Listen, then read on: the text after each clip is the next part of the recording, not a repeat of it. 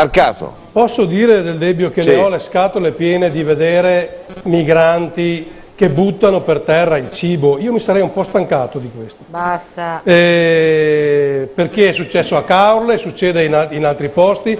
Questi signori che dicono di, di- di arrivare dalla fame, dalla guerra e, e, e da chissà qua- quale altra eh, situazione eh, di, di disagio, eh, arrivano qua e buttano per terra il cibo. Io mi sono un po' stancato di questo.